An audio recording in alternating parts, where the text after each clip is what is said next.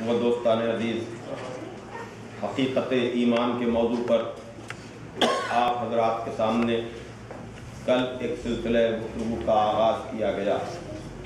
गुफ्तु का ज़रिया खुदाए फसाहत मौलाए बलावत गालिब अला कुल्ल गालिब मतलूब कुल्ल तालिब, हज़रत अली जबन अबी तालिब अलैहिस्सलाम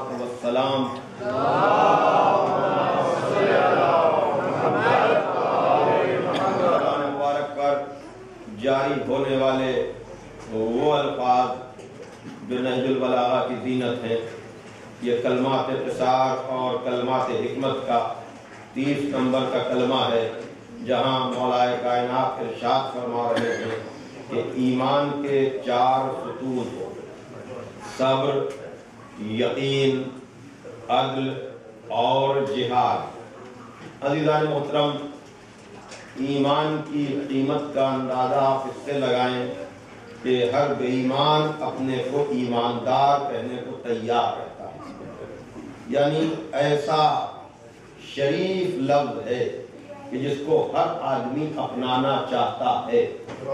लेकिन अगर कल की गुफ्तु आपके जहन आली में महफूज हो तो कल मैंने अर्ज़ किया था कि ये ईमान बगैर मोहब्बत अली के पैदा होता इसलिए कि पैगंबर ने इरशाद फरमाया कि या अली, हुब्ब का तकवा वल ईमान व बुग़्ज़ का कुफ्र व निफाक। ऐ अली, तुम्हारी मोहब्बत, तकवा और ईमान है और तुम्हारा बुग़्ज़, कुफ्र व निफाक है। अजीज़ान मोहतरम, ईमान खुदावंद आलम के वजूद पर, उसके सिफात पर, उसके कमालात पर, इन बातों का जबानी इकरार कर लेना आसान है।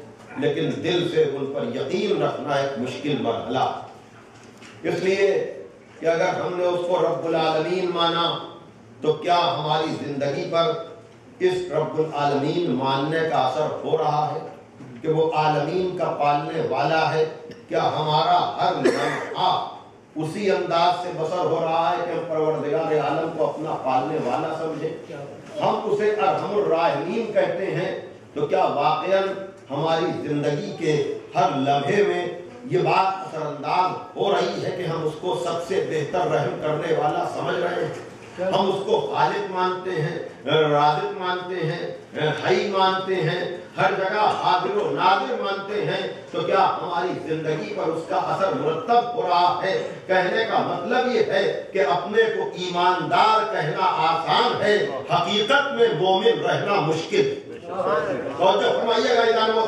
लेकिन मौलाए कायनात ने ईमान की जो तारीफ़ या ईमान की जो डेफिनेशन बयान की है। अगर हम तजिया करें तो हम सब इस आईने में अपना चेहरा देख सकते हैं और अपने ईमान का खुद फैसला कर सकते हैं। ये भी हम जानते हैं कि ईमान किसी महदूद या मुन शय का नाम नहीं है। यही बात है। यहाँ पर ऐसा मसला नहीं है कि सब एक तरह के लोग हों। नहीं, आप सुनते रहते हैं, कहीं सात दर्जे का ईमान है, कहीं आठ दर्जे का ईमान है, कहीं नौ दर्जे का ईमान है, कहीं दस दर्जे का ईमान है। तो अगर ईमान के दर्जे हैं तो हमें भी कुल्ले ईमान के इस कौल के आईने में देखना है कि हमारा ईमान ज़ीरो पर है, या ज़ीरो से नीचे पर है, या उससे नीचे पर है। एक सलाम भेजिए जरा मोहम्मद वाले मोहम्मद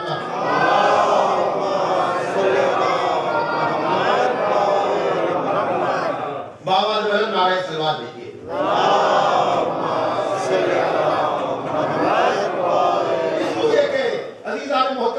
अभी हमने शुरुआत नहीं अभी मैंने गुफ्तगू का आगाज़ नहीं किया है, लेकिन हर आदमी अपने दिल में, हर आदमी अंदाज़ा लगा सकता है। इसलिए कि यहाँ हम आले मोहम्मद के ज़िक्र के ज़रिए से अपने ईमान को जिला देना चाहते हैं, अपने ईमान में इजाफा चाहते हैं। और कल अगर मैंने अर्ज़ किया आपके सामने कि ईमान का एक सुतून है, यकीन।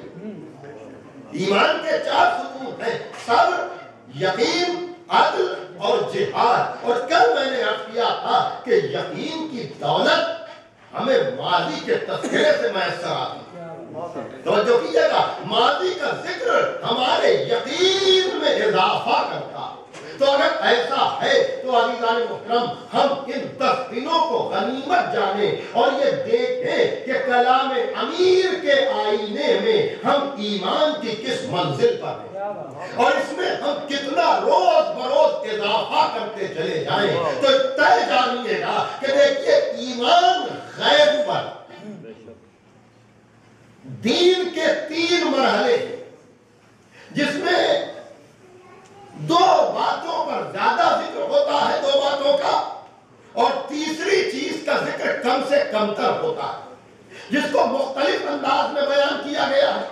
और वो ये है कि पहली मंजिल है ईमान, दूसरी मंजिल है इस्लाम, तीसरी मंजिल है अखलाक, जिसे एहसान भी कहा जाता है। तो फरमाइएगा ईमान, इस्लाम और अखलाक, ईमान गैब पर।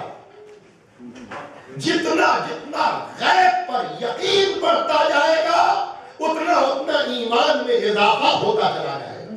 तो कीजिएगा। अब ज़ाहिर सी बात है कि ये पैमाना जो मैं कर रहा हूँ, हम सबको देखना है कि हमारा गैब पर कितना यकीन है। जितना गैब पर यकीन है, उतना ही हमारा ईमान बढ़ा हुआ इस्लाम है, वहाँ तस्लीम है। और जहाँ तस्लीम है, वहाँ अमल है। तो जितना जितना उसमें अमल बढ़ता जाए, उतना उतना तस्लीम में इजाफा होता चला जाए। अब इन दोनों से मिलकर बनता है कैरेक्टर कैरेक्टर बिल्डिंग हम अकीदे पर तो बात करते हैं। अमल पर तो बात करते हैं, लेकिन इन दोनों से मिलकर जो हमारी शख्सियत बनना चाहिए कि हमें अखलाक कैसा है, हमारा किरदार कैसा है, हमारे पास सदाकत कितनी है, हमारे पास शुजात कितनी है, हमारे पास अमानत कितनी है, हमें एक दूसरे को के साथ मदद करने का जज्बा कितना है तो इसका मतलब ये है कि अकीदे और अमल का इजाफा हमारे किरदार में इजाफे का सबब बन जाता है। तो यही वजह है कि जब मौला हुसैन की खिदमत में एक शख्स आया और उसने कहा कि, मौला, हम आपसे मदद चाहते हैं। इसलिए कि आपके नाना की हदीस है कि सही से मांगो, आपके नाना का कौल है शरीफुल नसब से मांगो। आपके नाना का कौल है हसीन और ज़मीन से मानो मौला ये सारे कमालात आप में मौजूद हैं इसलिए मैं आपसे मदद मांगने के लिए आया हूँ। तो मौला ने कहा गुफ्तगु तो अच्छी कर रहा है लेकिन मेरे नाना का ये कौल है अल मारूफ बेकदर मारफा। तो कीजिएगा तेरे साथ नेकी उतनी ही की जाएगी जितनी तेरी मार्फत होगी। क्या बात है। तो कीजिएगा अल मारूफ बेकदर मारफा जितना तेरी जितनी तेरी मार्फत होगी, उतना ही तेरे साथ नेकी की जाएगी। तो मैं इस मंजिल पर आकर हमेशा फर्श अदा के लिए गुफ्तगु करता हूँ कि ये फर्श अदा है तो सबके लिए। तो सबके लिए दरवाजे खुले हुए हैं। जो चाहे आए और बारगाह हुसैनी से ले जाए, लेकिन जिसकी जितनी मार्फत होगी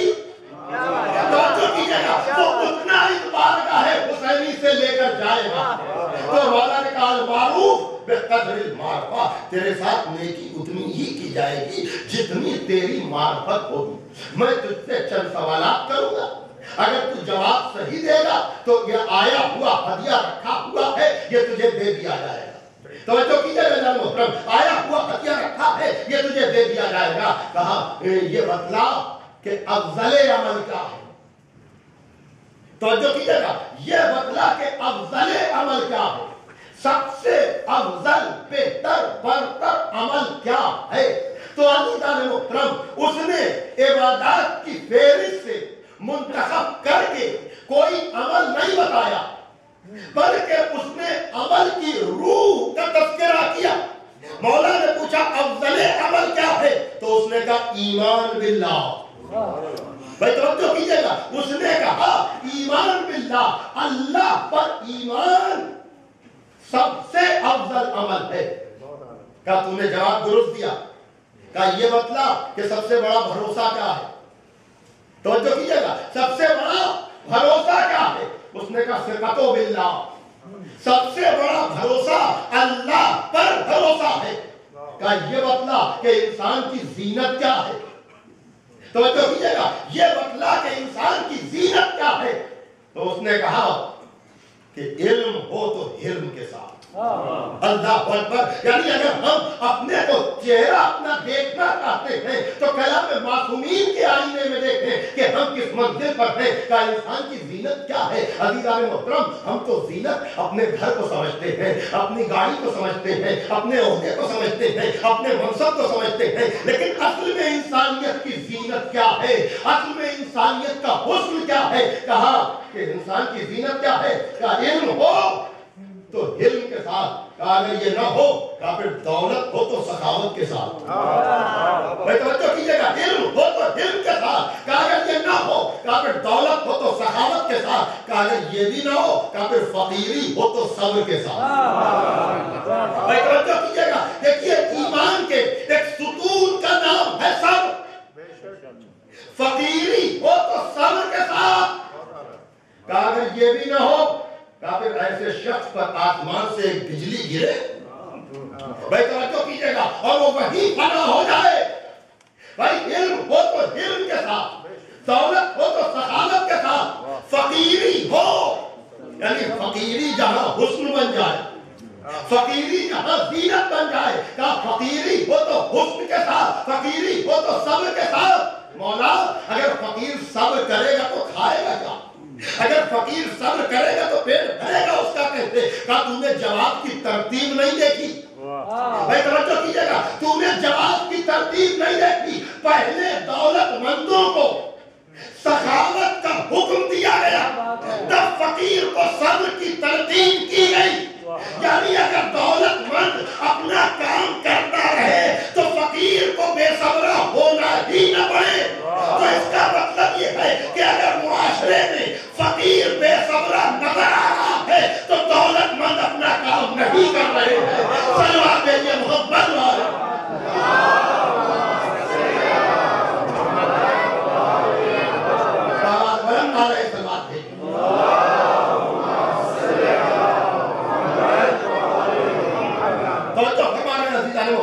बहरहाल, अब ये देखिए कि सब्र की सिफत क्या है।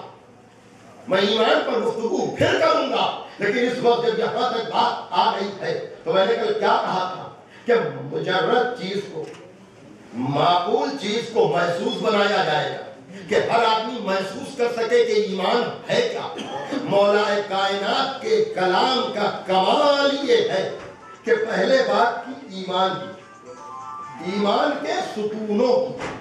अब उसके बाद वह सब्र मिनहा अला अरबे शोबिन और फिर सब्र के चार शोबे अल शौके व शफके व जोहदे व तरकुब कि जहाँ सब्र है वहाँ शौक है वहाँ खौफ है वहाँ जोहद है और वहाँ इंतज़ार। देखिए, ईमान को देखा नहीं जा सकता। सब्र को देखा नहीं जा सकता। लेकिन कलाम अमीर का आप कमाल देखिए कि अब जो बात अर्ज़ की जा रही है, कलाम अमीर की रोशनी में, उसको हर आदमी महसूस कर सकता है। ईमान का इम्तिहान आसान नहीं है लेना। सब्र का इम्तिहान आसान नहीं है लेना। लेकिन जो अब पैमाना मौला कायनात बयान कर रहे हैं, अरे मैं आपके दिल में उतर कर गुफ्तु करना चाह रहा हूँ। देखिए, ईमान ईमान ईमान करते चले जाए, लेकिन हम और आप महसूस नहीं कर सकते कि ईमान क्या है।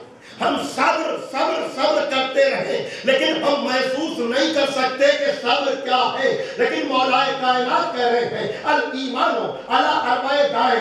ईमान के चार सुतून हैं, सब्र। यकीन अदल और जिहाद। व सब्र मिनहा अला अरबाए शोबिन। और सब्र के चार शोबे हैं। अल शौके व शफके व ज़ुहदे व तरक्कुब जहाँ ईमान होगा, वहाँ सब्र होगा। जहाँ सब्र होगा, वहाँ शौक होगा, वहाँ खौफ होगा, वहाँ ज़ुहद होगा, वहाँ तरक्कुब होगा। अब शौक का कोई इनकार नहीं कर सकता। इसलिए कि सुबह से शाम तक भाई तो कीजिएगा पता नहीं कितनी चाहते हैं जो इंसान के दिल में पैदा होती रहती है। क्या कोई शौक से इनकार करेगा कि उसको 24 घंटे में किसी बात का कोई शौक पैदा ही नहीं होता है? तो इंसानी फितरत इसका इनकार नहीं कर सकती कि जब भी सोने से लेकर उठने तक, चलने तक, फिरने तक, ज़िंदगी के हर हिस्से में किसी न किसी बात की ख्वाहिश इंसान के दिल में आती रहती है। मौला ने मुजर्रत को महफूज बनाया। कहा, अगर तुम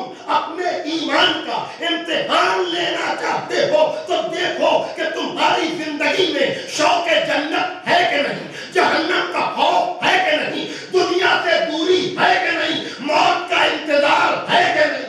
सलवात मोहम्मद वाले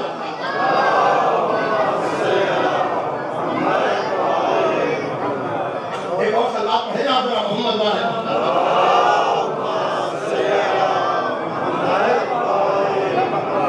भाई अजीब बात है यानी अगर ज़िंदगी में हर तरह की ख्वाहिशें तो पैदा हो रही हैं कि ये कर ले ये कर ले ये कर ले ये कर ले लेकिन अगर जन्नत का शौक पैदा नहीं हो रहा है तो सब्र नहीं है और सब्र नहीं है तो ईमान नहीं है ईमान नहीं है तो मोहब्बत अली अरे तवज्जो कीजिएगा अब आप ज़िंदगी के रुख को बदल कर देखना शुरू करें कि देखें कि घर की ख्वाहिश के साथ मकान की ख्वाहिश के साथ गाड़ी के ख्वाहिश के साथ और अच्छे लिबास की ख्वाहिश के साथ और सारी जो ख्वाहिशें हैं उनके साथ हमें जन्नत की भी रोज़ाना पैदा हो रही है कि नहीं? यानी इस फानी दुनिया से बाकी दुनिया की तरफ़ जाने की अगर तमन्ना नहीं है तो हम सुबह से शाम तक ईमान ईमान ईमान करते रहे। लेकिन कलाम अमीर की रोशनी में बगैर शौक जन्नत के।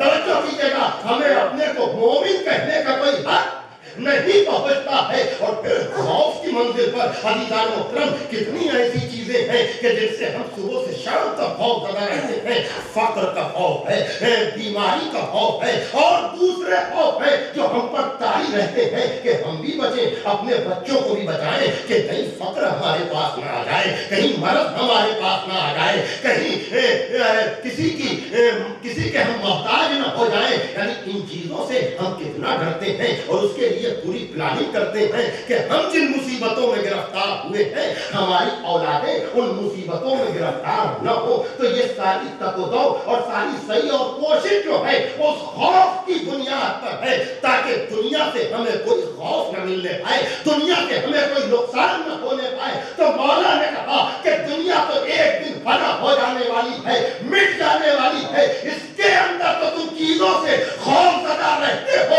लेकिन जहन्नम जिसमें अगर चले गए तो हमेशा रहना पड़ेगा जब तक उससे बचने का तुम में जज्बा न होगा, तुम अपने को मोमिन न समझना। सलाह देंगे मोहम्मद वाले।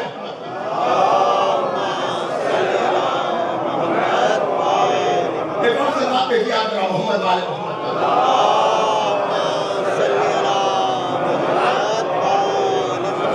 यहाँ तक यहाँ तक तो गुफ्तगू आसान थी। ज़ाहिर सी बात है कि ये जज्बा पैदा करने की ज़रूरत है। लेकिन अब मौला ने बताया कि ये जज्बा पैदा होगा कैसे? शौक जन्नत खाली ख्वाहिश से नहीं आ जाएगा। या जहन्नम से तुम खौफजदा हो तो नहीं इस तरह से नहीं। जुहद की मंजिल क्या है? वो मंजिल बाद में आएगी। अगर वक्त रहा इसलिए कि मुझे तो इन दस दिनों में चारों मरहलों पे गुफ्तगू करनी है। और ईमान साथ साथ है यानी रोज आना न सही। तो पूरे अशरे में, इन पाँच मरहलों में हमें गुफ्तगू करनी है। खुद ईमान, सब्र, यकीन, अदल और जिहाद। तो अगर ये मरहले आपके पेशे निगाह हैं अजीजान मुहतरम तो आइए आज जरा सा एक मंजिल पर मैं गुफ्तगू को मुकम्मल करूँ और आप तक एक बात बहरहाल पहुँच जाए, और वो ये कि अजीजान मुहतरम देखिए शौक कैसे पैदा हो जन्नत का।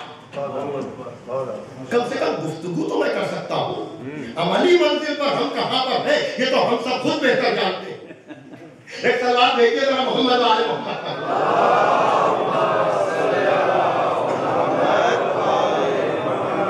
अगर आप हजरात चाहें तो आगे आ सकते हैं।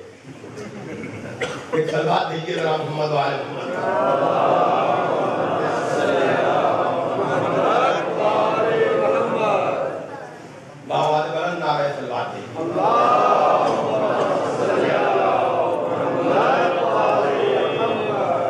अधिदार मोहतरम मैं मरतबा कह रहा हूँ और इन चीज़ों की तकरार जितनी दफ़ा मैं कहता हूँ एक नया लुत्फ मिलता है। पर मोहम्मद वाले मोहम्मद सलाम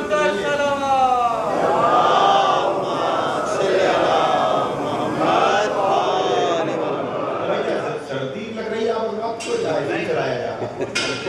है? अगर किसी को सर्दी ज़्यादा लग रही हो तो चलाइए। न हो तो न चलाइए चलिए मैं गर्मी पैदा करता हूँ सलमान देखिए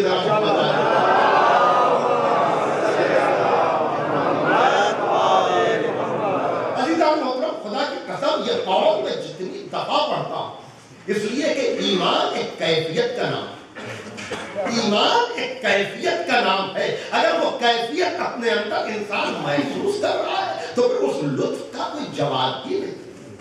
कल मैंने जो बात अर्ज़ की थी कि जन्नत अकली अकल का सुकून अकल का इत्मीनान ये ईमान की बुनियाद पर फराहम होता आज मैं ये कह रहा हूँ मौलाए कायनात के कौल की रोशनी में कि अगर शौक नहीं है तो सब्र नहीं है।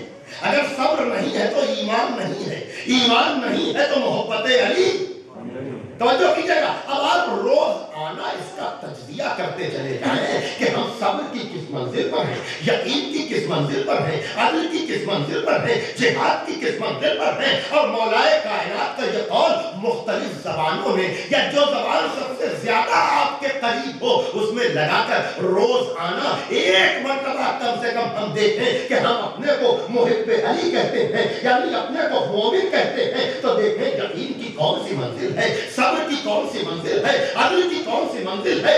जिहाद की कौन सी मंजिल है? फिर देखें, हमारा तर्ज गुफ्तु बदलता है कि नहीं? हमारा तर्ज ज़िंदगी बदलता है कि नहीं? हमारे उठने बैठने का तरीका और तरीका बदलता है कि नहीं तो अभी मोहतरम पहली मंजिल शौक की है और शौक भी जन्नत का होना चाहिए अब मौलाए कायनात ने कहा कि सुबह से शाम तक अगर कोई कहता रहे कि मुझे शौक जन्नत है मुझे शौक जन्नत है मुझे शौक जन्नत है तो वो अपने दावे में सच्चा नहीं है। जब तक ये दलील मैसर ना कि फमनिश्ता का इला जन्नत सदा अनिशाबाद जो वाकई जन्नत का शौक रखता होगा, उसको अपनी ख्वाहिशों पर कंट्रोल होगा भाई तवज्जो कीजिएगा अब जाकर हम अपने ईमान का टेस्ट कर सकते हैं कि जो ख्वाहिशें पैदा हो रही हैं, अगर वो मुताबिक हुक्म खुदा हैं।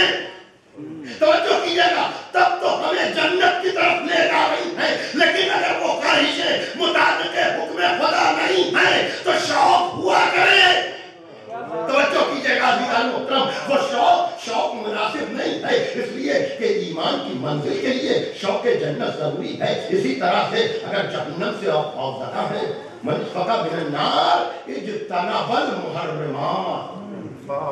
जो वाकई जहन्नम से खौफजदा होगा, वो हराम चीज़ों से परहेज करेगा। देखिए मौला ने पैमाना दे दिया अब कोई आदमी कुछ नहीं कह सकता है कि ईमान क्या है, हम नहीं समझते।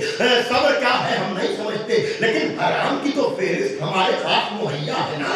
अगर हराम से हम परहेज नहीं कर रहे हैं तो हम में खौफ नहीं है। खौफ नहीं है तो सब्र नहीं है। सब्र नहीं है तो ईमान नहीं है। ईमान नहीं है तो मोहब्बत अली।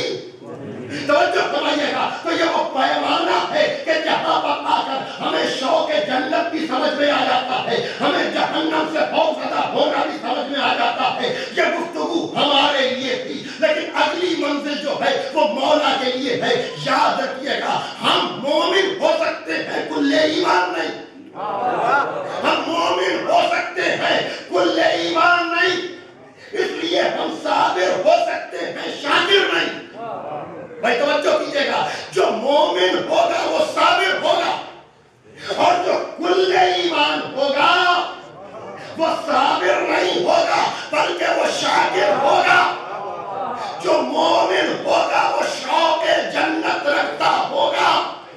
जो मोमिन होगा, वो जहन्नम से खौफजदा होगा। लेकिन जो कुल्ले ईमान होगा, उसे शौक जन्नत ना होगा।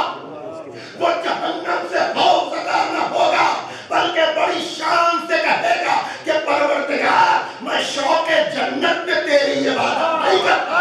मैं शौक जहन्नम से तेरी इबादत नहीं करता, बल्कि तुझको नायक इबादत समझता हूँ। इसलिए मैं तेरी इबादत करता हूँ। सलवा पे मोहब्बत वाले।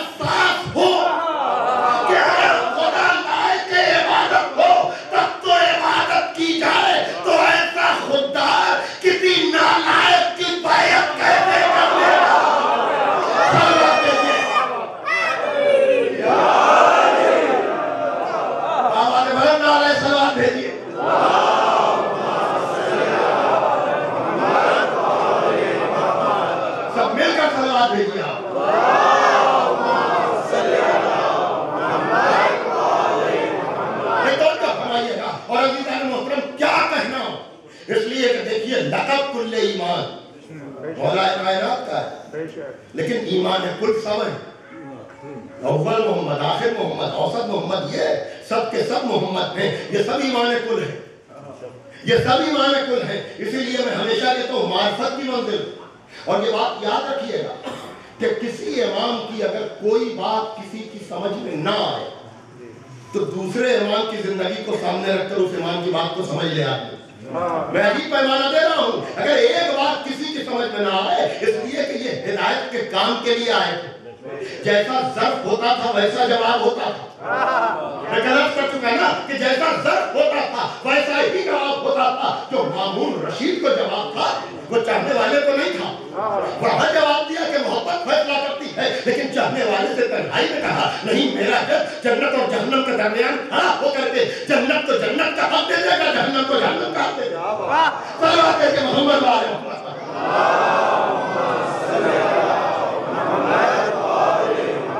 तो की की कोई बात समझ में ना आए, अगर नबी का इल्म किसी की समझ में ना आए तो इल्म अली को देख ले। भाई तवज्जो कीजिएगा। अगर नबी की शजात किसी की समझ में ना आए तो शजात अली को देख ले।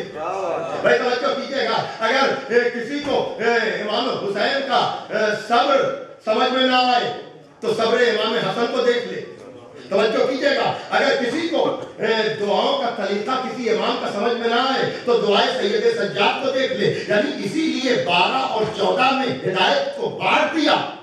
तवज्जो कीजिएगा ताकि अगर एक की बात समझ में ना आए तो दूसरी की बात को हम समझते चले जाए। यही वजह है कि जब यजीद ने मुतालबा बैत किया और मौला हुसैन दरबार में गए तो इनकार में खाली इनकार करके अपने को नहीं पहचानवाया।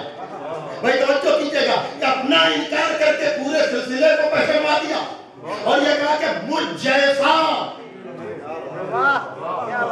कहाँ बैठे मुझ जैसा यदि जैसे की बैत नहीं कर सकता, यानी मौला हुसैन ने एक इनकार से बताया कि मुझ जैसा का मतलब यह है कि मैं अकेला नहीं हूँ। हमसे पहले भी हम जैसे हैं, हमारे बाद भी हम जैसे हैं, मुझ जैसा। ये अपना तारुफ कराया और कहा कि यजीद को भी पहचानते जाओ। यजीद जैसे की बैत नहीं कर सकता, यदि यजीद भी अकेला नहीं है, यदि जैसे भी है तो कुछ जैसा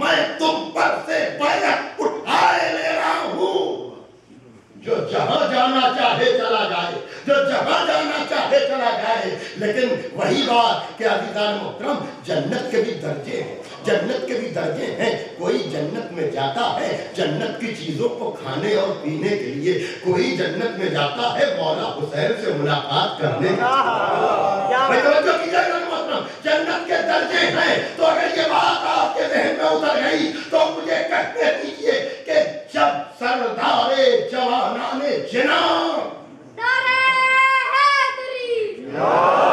जन्नत का वादा करे तो क्या जन्नत में कोई शक है?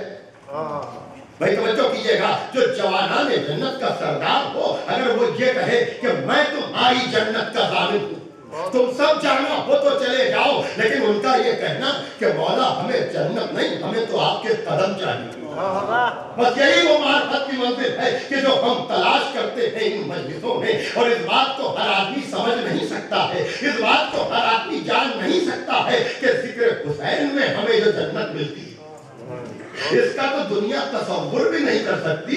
यही वजह है, कल जो मैं बात इशारों में कर रहा था, आज मैं थोड़ी सी तफसील देना चाहूँगा कि अजीजान देखिए, मार्फत खुदा के लिए ज़रिया है इमाम की मार्फत, और यही वजह है कि हमें दो चीज़ें बहुत अज़ीज़ हैं। अजादारी की दो चीज़ें सबको अज़ीज़ है।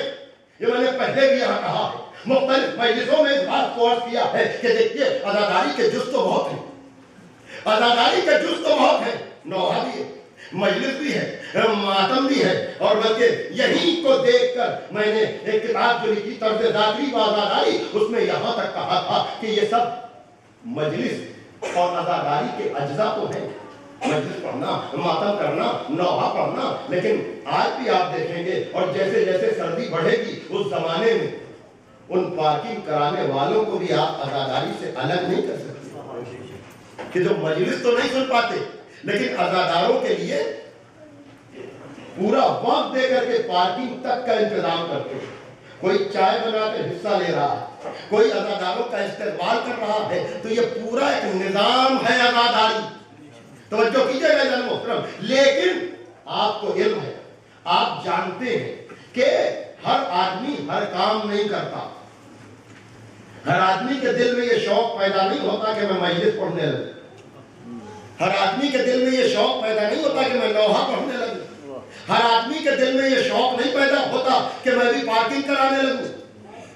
लेकिन सबका एहतराम सब करते हैं। लेकिन एक चीज़ ऐसी है वो है हुसैन पर गिरिया। मैं क्या कह रहा हूँ तवज्जो कीजिएगा। और यही से तलब मासूम समझ में आती है।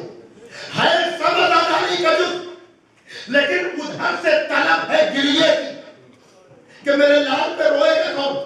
मेरे लाल का मातम कौन करेगा? तो अगर अपने ईमान का आपको इम्तिहान करना है तो ये देखिए कि शौक गिरिया कितना है और शौक जियारत कितना है। जितना जितना शौक गिरिया आप महसूस करें, उतना उतना अपने ईमान को कमाल की मंजिल की तरफ़ जाकर महसूस करेंगे। इसीलिए बुज़ुर्ग ने ये बात कही है अजीजान मुहतरम कि अगर तुम्हें अपने ईमान का अंदाज़ा लगाना कि तुम ईमान की किस मंजिल पर हो तो जैसे जैसे मुहर्रम की रातें गुजरे देखो, तुम्हारे दिल में गुदास पैदा हो रहा है कि नहीं? तुम्हारे दिल में दर्द पैदा हो रहा है कि नहीं? तुम ये सोच रहे हो कि नहीं कि हुसैन की माँ को उनके उजड़े हुए घर का पुरसा देना है? अगर ये जज्बा तुम्हें पैदा हो रहा है तो समझ जाओ कि तुम्हारे ईमान में इजाफा हो रहा है। पहली बात ये, दूसरी बात ये कि जियारत हुसैन। अजीजान मुहतरम अब तो उर्दू में भी किताब आ गई है कामिल जियारात। जानने वाले जानते हैं। मैं फिकी मसाइल में असरअंदाज नहीं होता हूँ। मैं उसमें दखल अंदाजी नहीं करता हूँ। यह काम मुश्तदीन का है कि वो वाजिब और हराम की बात करें। लेकिन हदीस की रोशनी में इतनी ज़्यादा ताकीद जियारत कब्र हुसैन की की गई है कि अइम्मा ने कहा है कि अगर इस्तात है तो साल में तीन मरतबा जियारत करने को जाओ। और अगर तुमने जियारत कब्र हुसैन नहीं की तो तुम्हारा हज कबूल नहीं होगा। अगर तुमने हुसैन की कब्र की जियारत नहीं की तो तुम्हारा ईमान कामिल नहीं है। अगर तुमने हुसैन की जियारत नहीं की तो तुम्हें जन्नत में कब तरीन दर्जा मिलेगा।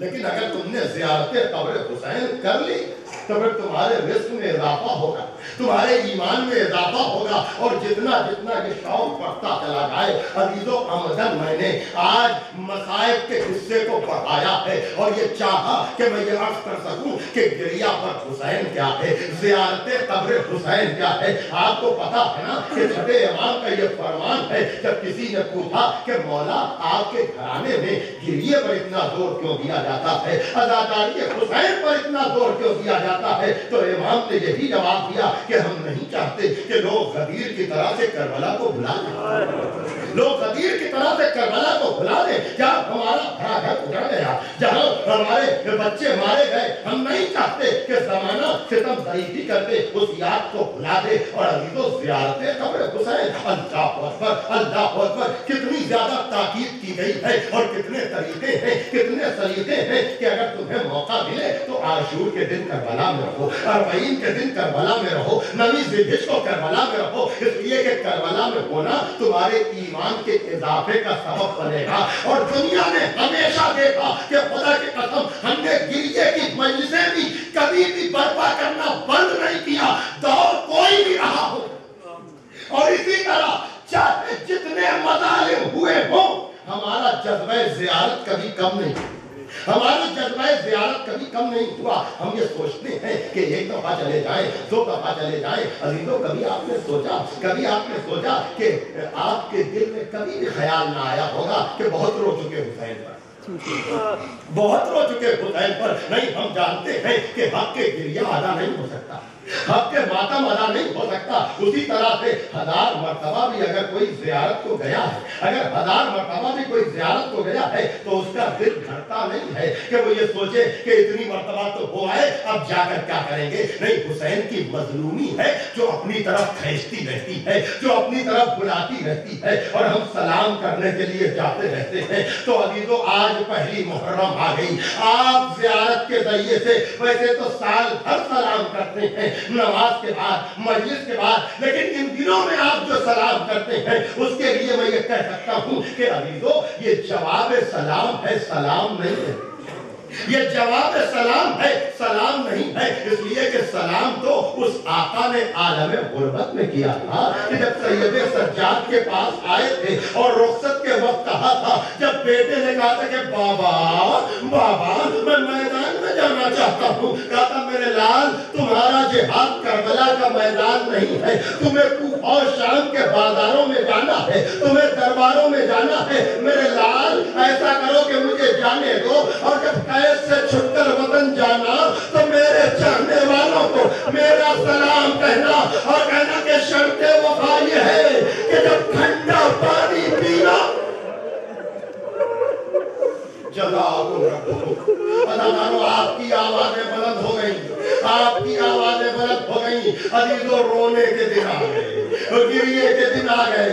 साल भर जिन दिनों का आपको इंतज़ार रहता है, वो दिन आ गए।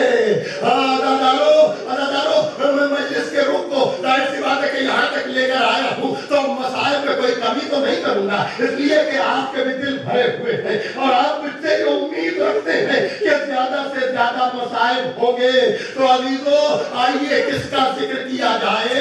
किसका ज़िक्र किया जाए? देखिए, करबला में जो जिहाद हुआ है, करबला में जो जिहाद हुआ है, उसमें लोग दाद देने वाले थे। वाह, और सुभान अल्लाह कहने वाले थे। लेकिन आलम गुरबत में मुस्लिम ने जो जिहाद किया समझ गए हरावले लश्कर हुसैनी। हाँ दादारो करबला से पहले जो सबीर ममलिकत सब्र रिजा बनकर गए हैं जनाब मुस्लिम, लेकिन अजीजों, दुआ किया करें। ये सबीर की दुआ है, ये जाकिर की दुआ है कि आलम गुरबत में कोई किसी का मोहताज न हो। आलम गुरबत में कोई किसी का मोहताज न हो। और अगर मोहताज हो तो उसके साथ छोटे छोटे बच्चे न हो। लेकिन हाय मुस्लिम की किस्मत, हाय मुस्लिम की किस्मत हाँ दादारो, आलम गुरबत में, आलम गुरबत में जनाब मुस्लिम तनहा नहीं है, बल्कि बच्चों का ज़िक्र तो आज ना हो सकेगा। लेकिन आइए, जनाब, मुस्लिम का ज़िक्र किया जाए। आपको पता है ना कि कूफा कितनी जल्दी बदला है। कूफा कितनी जल्दी तब्दील हुआ है। हाँ दादारो हम और आप इसका अंदाज़ा नहीं कर सकते हैं कि कूफे में जनाब मुस्लिम के पीछे जहाँ अठारह हज़ार लोग नमाज़ पढ़ लेकिन मगरिब और इशा का वक्त आते आते अब यह मुस्लिम तनहा है और कूफे की गलियों में घूम रहे हैं। आखिर में जब प्यास की शिद्दत हुई तो एक दरवाजे पर बैठ गए। एक दरवाजे पर बैठ गए। एक औरत निकल कर आई। उसने देखा उसके दरवाजे पर कोई शख्स बैठा हुआ है। कहा शख्स, तुझे क्या चाहिए? कहा, मैं प्यासा हूँ। पानी का इंतज़ार किया गया। तब भी जनाबे मुस्लिम जाते नहीं है। कहा, जमाना खराब है। इस वक्त तू दरवाजे पर क्यों बैठा हुआ है? अपने घर क्यों नहीं जाता?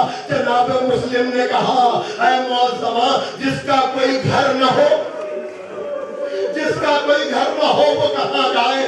दादारो, का तुम कौन हो? का हम सफीर हुसैन मुस्लिम है?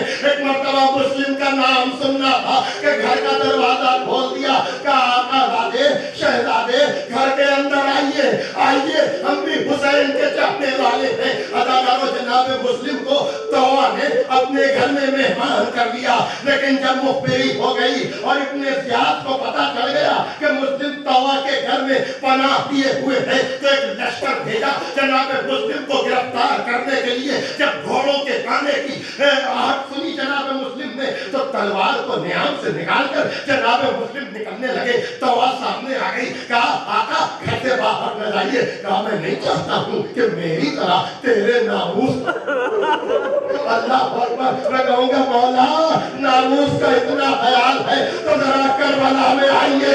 बातें शहादत हुसैन खैमों के जलने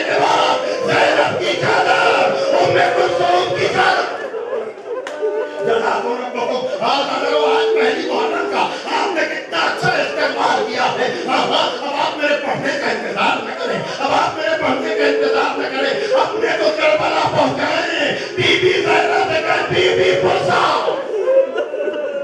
जनाब रब्बुकुम जनाब रब्बुकुम जनाब मुस्लिम आए हैं जनाब मुस्लिम ने जिहाद करना शुरू किया है, लेकिन जनाब मुस्लिम को धोखा देकर गिरफ़्तार किया गया। जनाब मुस्लिम को गिरफ़्तार करके दरबार में लाया गया, दरबार के दरवाजे तक आते आते जनाब मुस्लिम के लम्हाए मुबारक, दंताने मुबारक जख्मी हो चुके थे। अब जनाब मुस्लिम ने पानी का मुतालबा किया तो पानी तो आया, लेकिन पानी में खून मिल गया।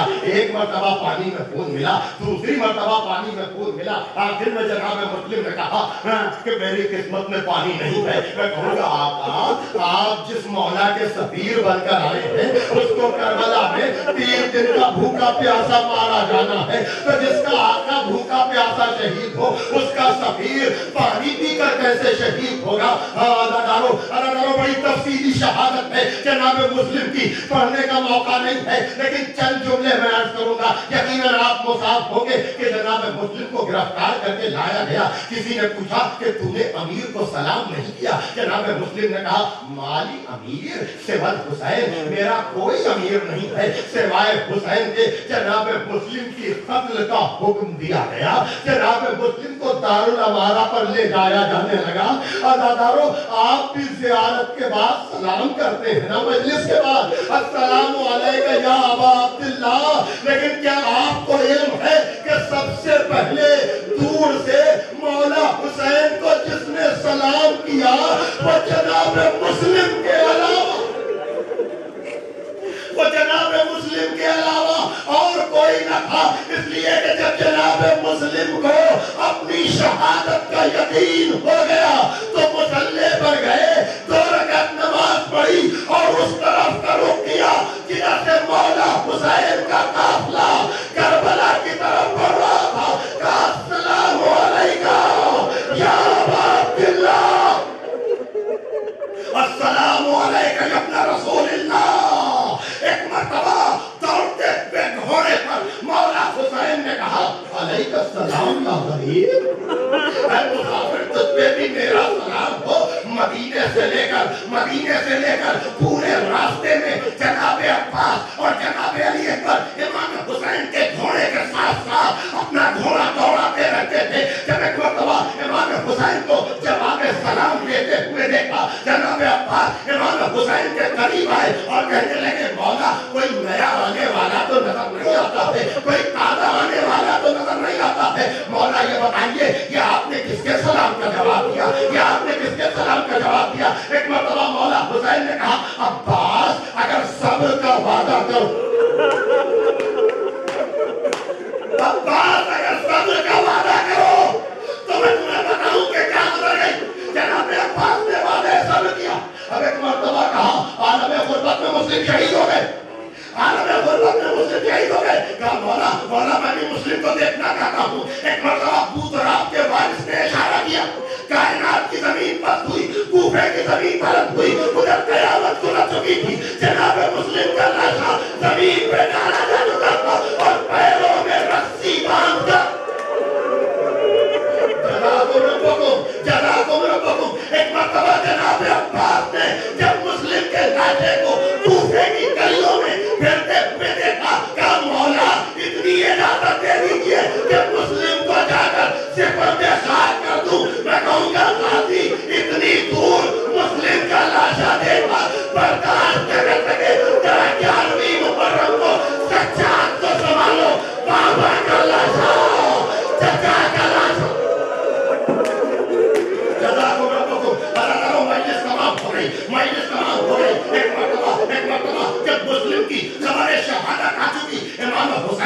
खैमे में गए कहा मुस्लिम की यतीमा को बुलाओ? मुस्लिम की यतीमा को बुलाओ? मौला हुसैन ने अपने सालों पर यतीमा मुस्लिम को बिठा शुरू किया। एक मरतबा आले मोहम्मद के घराने की बच्ची थी। कहा, चचा, मेरे पापा की तो खैर है।